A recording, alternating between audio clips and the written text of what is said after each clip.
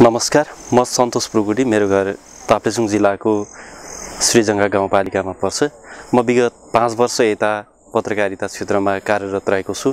अहिले राष्ट्रिय समाचार समिति इमेज च्यानल लगायतका सञ्चार माध्यमहरूमा चाहिँ कार्यरत रहेको छु। खास गरिकन मैले जे काम गरिरहेको छु मैले गरेका कामहरूबाट त्यहाँको स्थानीय समुदायलाई धेरै नै फाइदा पुगेको छ धेरै नै योगदान पुगेको छ भन्ने मलाई लाग्छ। खास गरी त्यहाँको आर्थिक सामाजिक सांस्कृतिक क्षेत्रहरूको विकास र परिवर्तनका लागि मैले कलम चलाएको छु।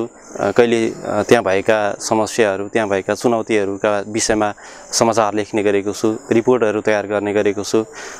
त्यस्तै कहिले त्यहाँ भएका सम्भावनाहरू के के छन् ती विषयहरूमा पनि मैले सम्बन्धित पक्षको ध्यान आकर्षण गराउने प्रयत्न गरेको छु जुन मैले पत्रकारिता क्षेत्रबाट।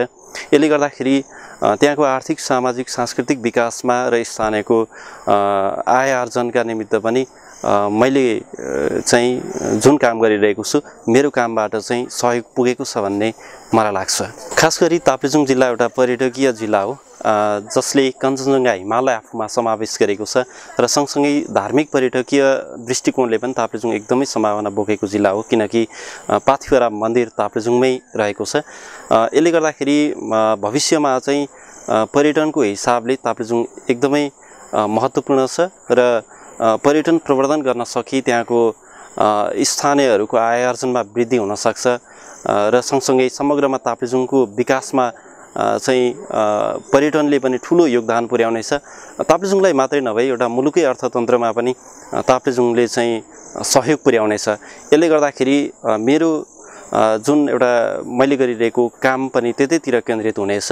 भविष्यमा चाहिँ त्यहाँको विभिन्न सरोकारवालाहरूसँग एउटा टिम बनाएर मैले काम गर्नेछु जो कि ताप्लेजुङको पर्यटन प्रवर्धनमा चाहिँ त्यसले सहयोग पुर्याओस्। र मैले पत्रकारिता गरिरहेको छु।